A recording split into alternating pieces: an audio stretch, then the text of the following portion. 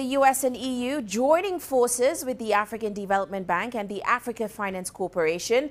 Through an agreement, they've set out plans to develop the Lobito Corridor and the Zambia-Lobito Railway together. Now, they'll form a link across the mineral belts of Angola, the Democratic Republic of Congo and Zambia. The projects are to be carried out under the auspices of a G7 initiative called the Partnership for Global Infrastructure and Investment. Here's CGTN's Deji Badamosi bringing us up to speed.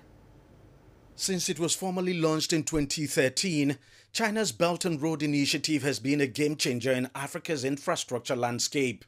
Through the BRI, Railways, roads, bridges, schools, airports, and several other projects have been constructed across Africa.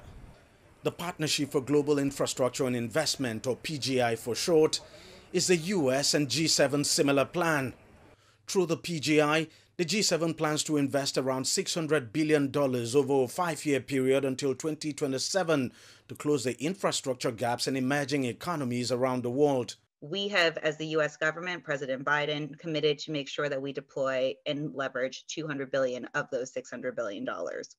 In Africa, the G7's PGI has zeroed in on the Benguela Railway, also known as the Lobito Corridor, which connects Angola and the Democratic Republic of Congo.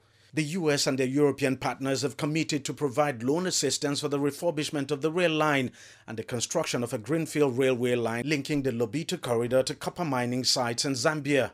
This is a really important set of infrastructure projects that we think not only help support regional trade and connectivity to, to the West, but also that allows us to invest in communities that are operating, living all along those routes um, in multiple different ways. The three African governments involved have since signed an MOU with the US, the EU, as well as the Africa Development Bank and the Africa Finance Corporation. Feasibility study on the Greenfield Railway line to link Zambia is expected to begin by the end of the year. The starting point is that this will benefit Africa. And as it benefits Africa, I will still give the credit to China. China's success and a, a, sincerity in relating with Africa on the FOCAC platform and recently in addition on the Belt and Road Initiative is what is forcing America and the rest to make a move towards Africa. China has indeed helped to turn around the infrastructure of many African countries in the last decade. The West had literally sat on the sidelines for a long time, but it's now decided to step into the fray. If the G7 wants to copy China.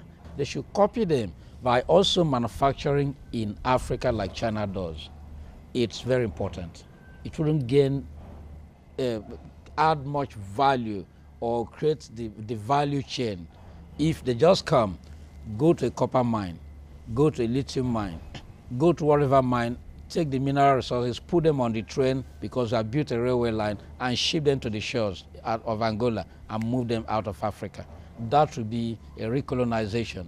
And I wish that no African leader should take it, especially those three countries that would be involved in the Lobito corridor.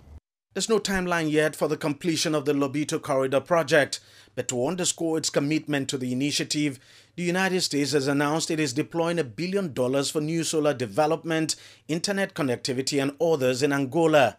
So somehow, the United States and the EU seem to have woken from their long slumber on investing in Africa's infrastructure.